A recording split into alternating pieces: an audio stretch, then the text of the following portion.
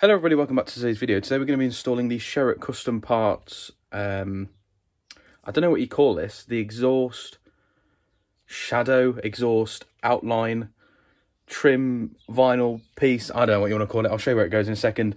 But basically, the little lip above the top of the exhaust on the John Cooper Works, uh, the Cooper S and the Cooper S with the John Cooper Works rear bumper, that sits on it and it makes a little outline, a little black shadow of sorts. You can have it in any colour you want, basically. I'll drop a link in the description where you guys can pick this up. But we're going to get it put on. I'm going to give the car a quick wipe down. I've got some alcohol wipes. I'm going to set the camera up and we're going to get it put on. Yeah, it might be a bit of a challenge trying to line that up, but we'll get there. Going to give it a bit of a wipe.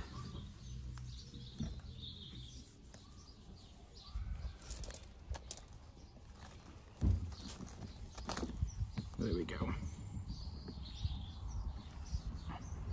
Very good. need to clean the exhaust pipes as well. So that goes like that. Okay. Just going to make sure that's all pressed nicely. Peel that off. Right. Hopefully I can get this right.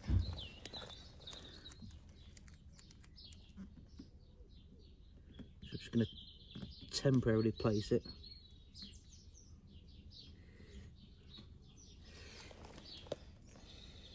I'm happy with that. I'm going to work it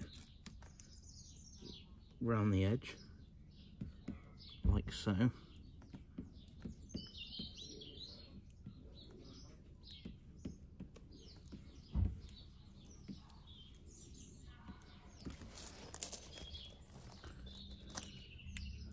I'm going to pull the cover off.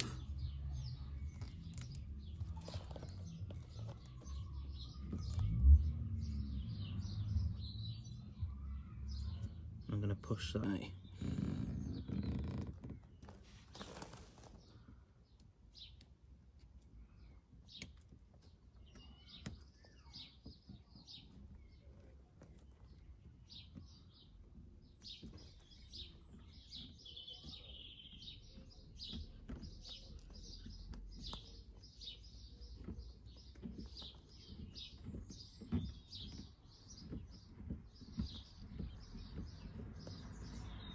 There we go. There we go. So on the grey, it's not very prominent, but you can definitely see it's there. I really like that.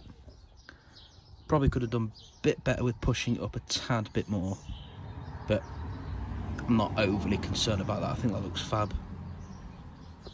Really good. Hmm. There we go. I like that. Very subtle. Right then guys, thank you for watching today's video. Yet again, a very simple modification to do. I won't even call it modification. It's more of a an aesthetic piece, really. That's what it is. I'll put a link in the description where you guys can pick this up. Um, get out of the way of the light. I'll put a link in the description where you guys can pick this up. Um, I think it was, I can't remember the price of it now. About £10, something like that off the top of my head. I can't remember. Um, yeah, really good.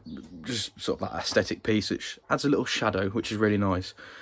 I've got two videos coming up that I really can't wait to show you guys. Um, I finally ordered the grill surround piece from Mini, so we've got that coming. That's coming by APC overnight, so I should be here tomorrow on Saturday, actually. So, all being well, when I finish work, if I finish in time, I can put that on and I'll do a video showing you guys.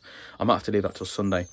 But on the 9th of June, uh, we're taking the Mini to get a um, middle box resonator delete done, which is going to be fantastic. There's so many videos of, um, you know, uh, so like a straight pipe decat, uh, back box delete, but there's not very many of a resonator delete that I can find to my specification of car.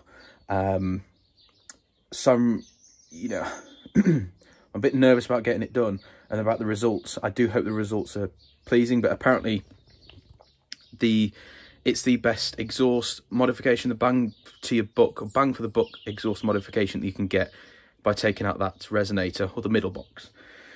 So we've got that booked in on the 9th of June, and I'm going to take you guys along with me. We're going to get it done. I'm going to do before and after shots as well, which should be really good. So you're going to want to stay tuned for that. Stay tuned, hit subscribe, hit the notification bell. You'll be notified whenever I upload a new video. Anyway, thank you for watching, and I shall see you all in the next video.